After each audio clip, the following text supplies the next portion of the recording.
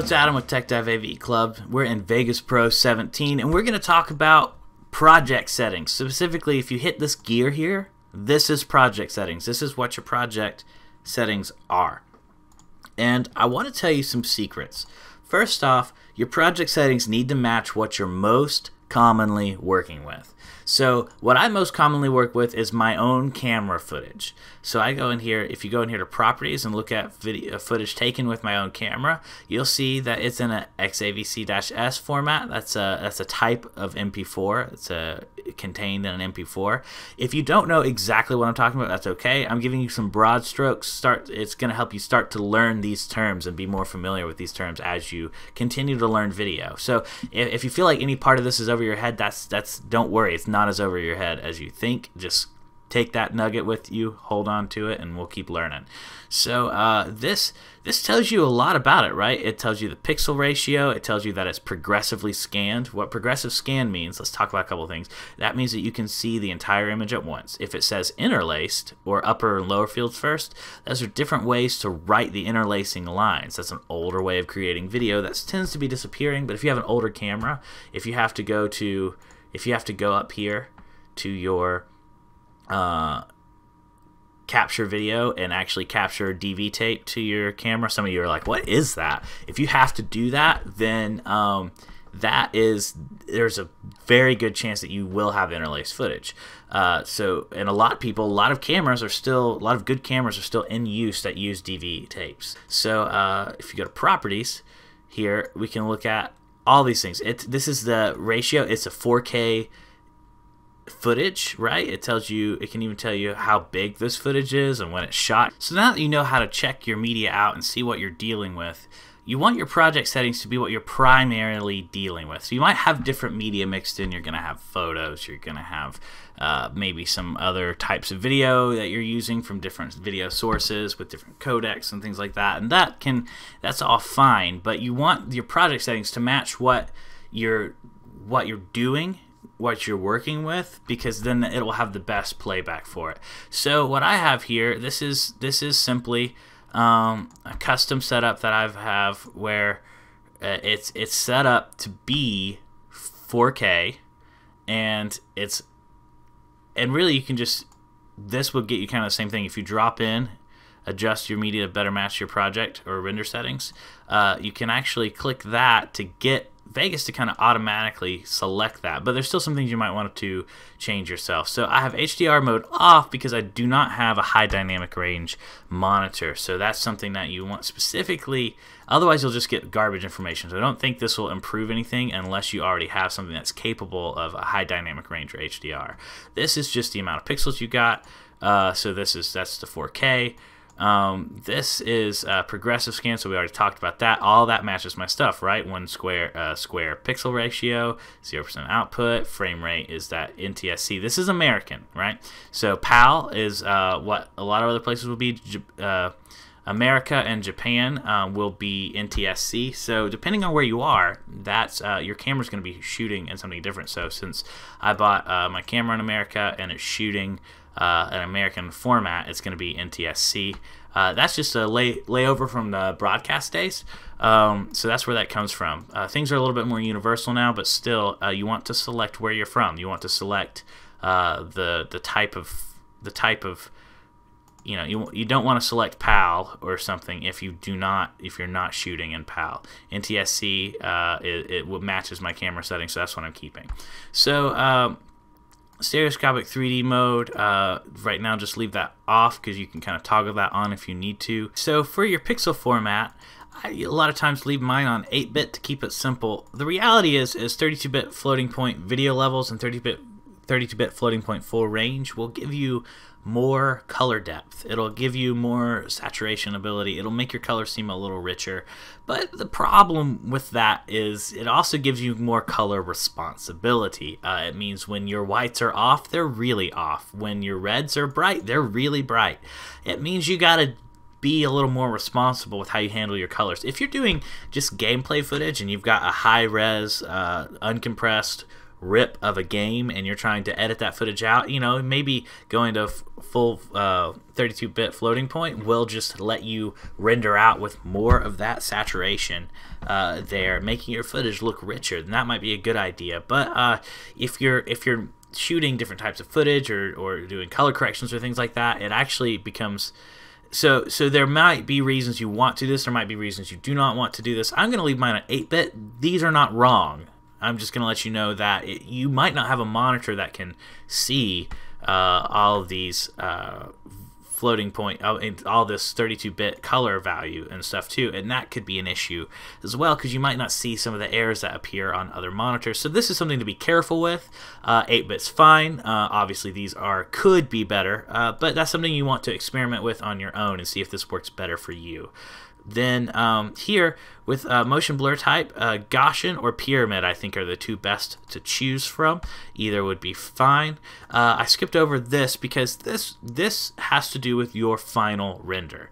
Uh, your final render, unless you specific, specify something different in your render settings. So let's go there and show you. So if we go to Project, we go to Render As, kind of pull up some render settings here. And uh, here on this, this is a generic one uh, created. If I go to customize template, I could name this something else. But this is, uh, we're not going into how to create uh, customized render settings right now. Uh, but something to keep in mind is it will render it out and it will either maintain as much quality as possible or lose some quality. So if you go to project, it'll actually go video render quality, use project settings, or you can manually set it. If you manually set, set it, you need to name it something that you can find later. Uh, but otherwise, use project settings. What that means is it'll use this setting right here. So this is good by default, which will give you some good quality video. But if you want it to be the best render quality, you need this to set as best.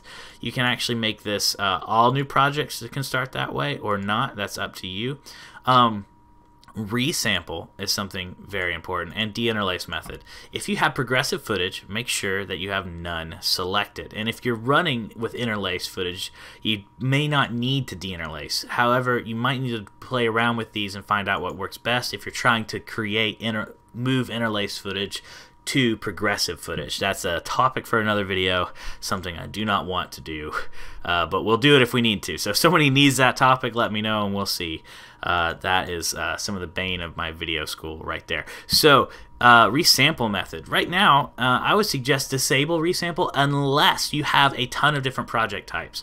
If you're having different frame rates and different project types, resampling will actually help it uh, create something that, that has less stuttering and things like that. It'll help help make the video more cohesively together because it'll essentially kind of resample the video into the video that you're expecting it to be. Uh, since I'm doing a lot of similar medias, they're all MP4s of 1080p and 4K, and they're all 29 to 25 frames per second, I can get away without resample on, and this is the best method. If you can go without resample, do it. If you can't, then you can do a couple different types of resample. Forced resample will do it no matter what. Smart resample will do it if it needs to do it. Uh, there's probably some more um, fancy explanations behind that, but that's good enough for this video. Um, like I said, this little checkbox right here will uh, uh, let the media change. It'll change what to what it Vegas thinks is best, which could be better than what you chose or could not be. But really, it'll just adjust it to the first thing you drop in there and uh, that may not be the best thing to use. Now, this is your uh, where your pre-render files will go, and what a pre-render is, we'll talk about that right now. What a pre-render is, is you can grab some footage or something. So, for example, you can see this Korok right here is this is 1080p footage that I have squeezed down here over top of this 4K footage uh, and I might want to see exactly how this looks. So I can right click and hit uh, selectively pre-render and it'll pre-render a track that it'll play until I make changes and then that way it'll give me the most smooth, most accurate version of what this is going to look like in the final render. So that, those files are kept here. This matters only if you're having space issues on your C drive or you have a special scratch drive that you want everything, all your video footage to go to. If that's the case, you can actually change where that location is. Uh, so for audio, what I'm going to suggest is keep your sample rate at 4800. That's a good. That's a good sample rate. Higher, uh, you're talking about like you're recording bands and things like that. Uh, lower, and you're actually going to start noticing a diminished quality. 44 and 48 are the sweet spot. 44 is what's called CD quality, and 48 is broadcast quality. This is this is 48 uh, thousand kilobits per second or her, uh, her sample rate hertz. Uh, this is, I've heard that expressed different ways, but 48,000 is definitely where you want to be. 16-bit uh, is a fine depth. However, you can go deeper. It'll make your file sizes bigger, but that's up to you. Resample stretch quality. You can put this on best. You can also do your Dolby surround sound if you if you're dealing with surround sound. Uh, so that that's where you can select that there. If you do not have surround sound, do not worry about it. If you turn on surround sound when you don't have it, you're just going to give yourself problems.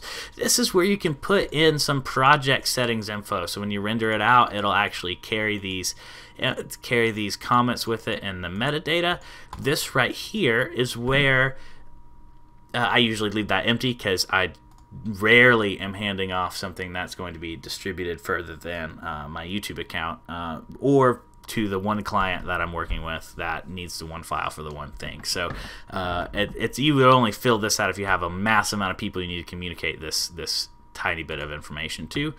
Um, and this is where you can do it if you're actually rendering out CDs and stuff like that. This is where you can leave some uh, track numbers and things like that on the CD metadata as well. I haven't honestly dealt with this stuff ever, so if you know more about these information, this these tabs, let me know. I would love to know more. Uh, ruler. So this is the kind of ruler you're going to have. It's not necessarily how your video, how your project video is. But when it says ruler, we're talking about time and frame. This right here is your ruler, your timeline, and it goes hours, minutes, seconds, frames per second. You can see it goes 29, 0, right? This is the 29th frame. This is the 0th frame. That's the 29.970 frames. Uh, the ruler kind of cheats that for you to make it more even. And this is where you can really see exactly what you're doing with the timeline. You can change how that works here in the project settings. So you can actually do absolute frames and hit apply, and then now you can see uh, now you can see the actual frame distance, right? You can see you can see the 29.9 thousand. It, it actually will count out the frames perfectly.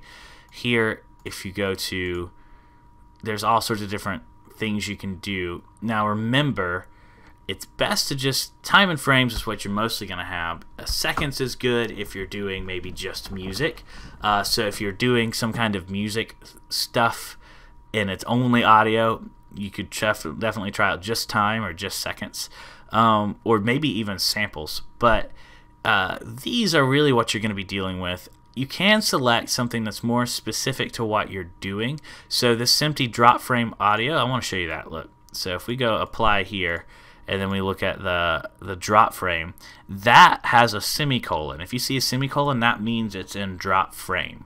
That doesn't mean it's forcing your project to be in drop frame. That means you're actually looking at the drop frame timeline here. So now you can see 11 12 14 let's let's 17 19 21 23 27 29 see 29 40 this this keeps in mind that there is that little fraction of a frame there that has been dropped out.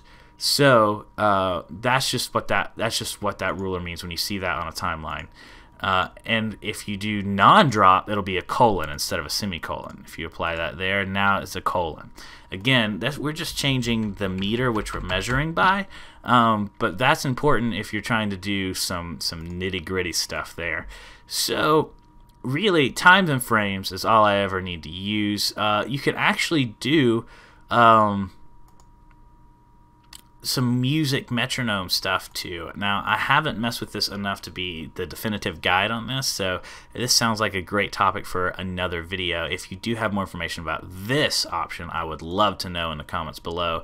But that is your guide to project settings in Vegas Pro 17 I meant to be in depth. If some of it, if went over your head, let me know. If there's specific questions, because we did talk about some nitty gritty. If you want to know more about any of these issues or any of these uh, boxes or anything that I talked about, let me know in that as well. I would love to address it. Right now, we're ignoring these. These should be locked to kind of what your uh, standard settings are. So uh, I'm going to apply those and hit OK, and now we've got project settings we can work with.